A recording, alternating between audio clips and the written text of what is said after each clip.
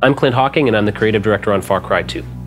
A lot of developers set out to make immersion one of the core components of their game. They really focus a lot of their effort on, you know, great graphics and really good sound and realization, trying to make the game as immersive as possible so the player can feel really a part of the world. And on Far Cry 2, we did all of that with our dynamic weather system and gorgeous open world, all that stuff.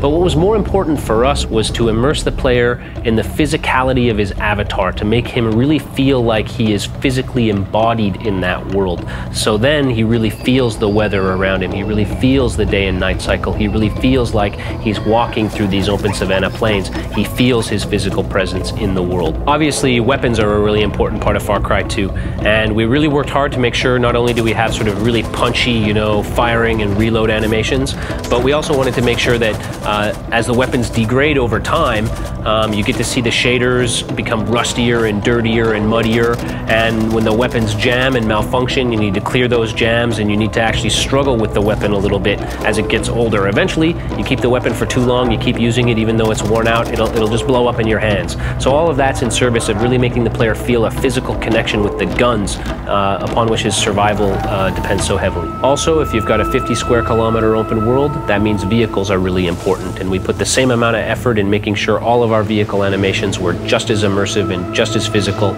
as all of our other animations. That means anytime you get in a vehicle, anytime you get out, switch seats, move on to a mounted weapon. All of those animations are quick and fluid, but they're all animations. We're not teleporting the camera ever, so you always feel like you're in your own body in the game. On top of that, vehicles can break down just like weapons. They wear down, they break down, and eventually they'll stop running. You'll have to get out of the vehicle, pop open the hood, repair the engine, and then get back on the road. The player's most important navigational tool is his map and his compass and his monocular. And of course, we wanted to make sure that the player has that map in his hand rather than having to look at it in a menu. That means that the player can check his position at any time, he can navigate the world, he can see where he needs to go, see where his objectives are in the world using a, a, paper map that he holds in his physical hands in the game world. Healing is another important way that we create a visceral connection between the player and his avatar. When you have a, a, small wound, all you need to do is inject a Syrette into yourself and you're good to go.